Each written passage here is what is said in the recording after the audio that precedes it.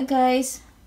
Well, it's me Janice again and welcome back to my channel. Today naman guys ay magluluto ako ng fried chicken. So, meron na akong na, na prepare na 5 pieces na chicken wings.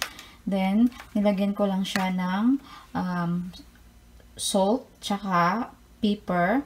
Then, after this one, ilalagay ko siya sa refrigerator para i-marinate ko siya ng mga 2 hours. Then, before before ko siya i-mix to our uh, flour and egg. Then, i-fry ko siya after. In an empty bowl, guys, I already put our one and a half flour. Then, 2 tablespoon of garlic powder. Tsaka 1 teaspoon of paprika. Then, mix lang natin, guys. Yan. Mix lang natin yung ating dry ingredients. Nag-add lang ako ng 1-4 cup of cornstarch. Ayan. Mix lang natin.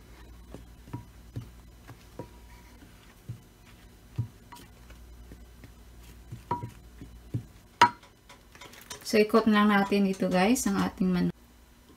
Din dito sa ating flour.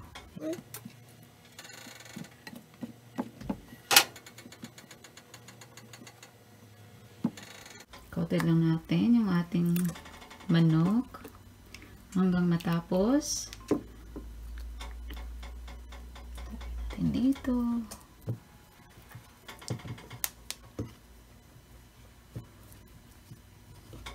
Siguraduhin na talagang makoat siya ng ating uh, flour para crispy pong kalabasan niya.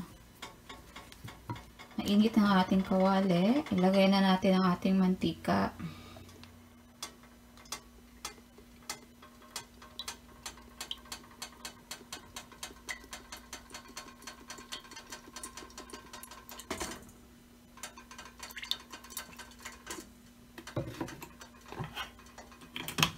So, hayaan lang natin magbola ang ating mantika bago natin ilagay yung ating manok.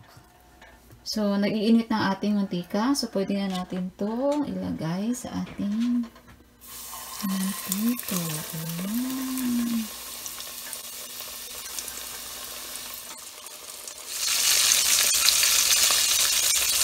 This can cook guys, mga 5 minutes side, 5 minutes din pag nag over na siya. Guys, ito na ang ating manok. Ating dalawang uh, nilagay ko kanina. So, ating natin kukunin.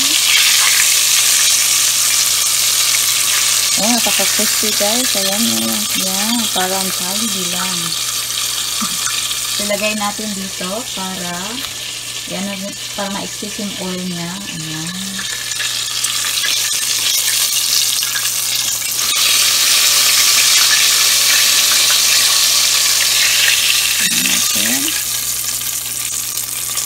Mmm, so crispy. Ang yummy. Ayan, dyan lang.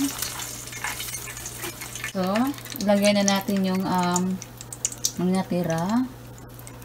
Ayan.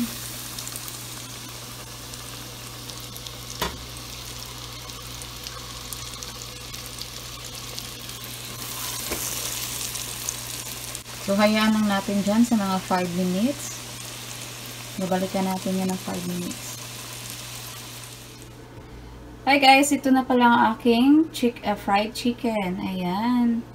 So, so crispy guys. Try nyo po sa bahay. And thank you for watching. Please don't forget to subscribe to my channel. Bye-bye.